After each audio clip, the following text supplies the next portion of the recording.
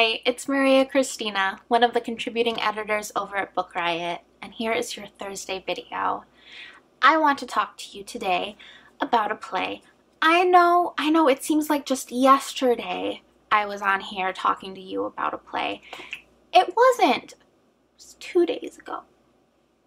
But that's not going to stop me because this is the only thing that I can really relate to at this moment that I am filming this.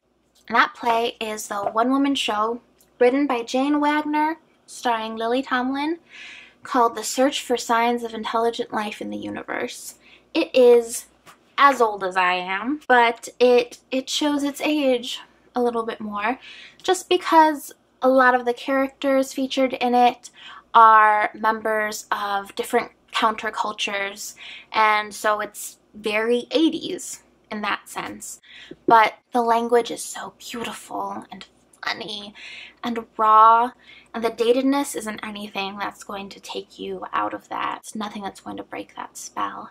And I have no compunctions about ruining the plot for you because the language and the themes, that's what you're there for if you're reading it. If you're watching it, you're probably there for Lily Tomlin because she's awesome. But even without her excellent performance, Jane Wagner's text here is it's stunning. Whenever something terrible happens, there are many people who will prescribe the correct way to respond, who will say, such and such an attitude is the only one you should adopt. Everything else is just flat out wrong. And that is useful in some contexts, that is valid in some contexts. For example, just to pick something off the top of my head, if someone suggests that you shouldn't align yourself with white supremacists, that's probably not the time for you to bust out a you're not the boss of me. There's not just a single way to process something that's happened. And at the risk of sounding like one of those people telling you what to do, I'm going to say that there are many feelings you're going to cycle through. There are times when you will want to fight. There are going to be times where you want to fight, but you can't and you just have to take a step back and take care of yourself.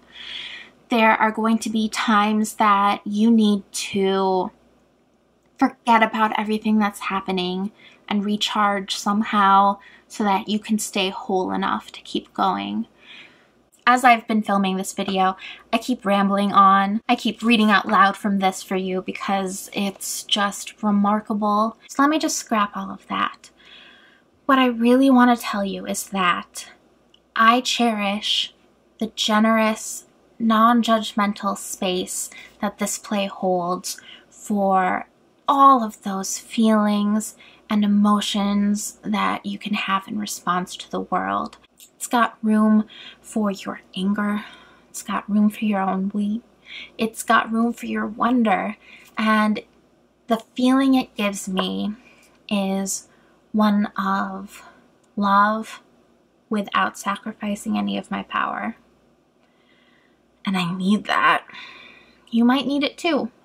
So please pick this up if you are in need of a book that will just sit there with you, be with you while you feel what you feel. And in the end, bonus, added value here, it's going to reaffirm for you why art is so important when it comes to connecting to others.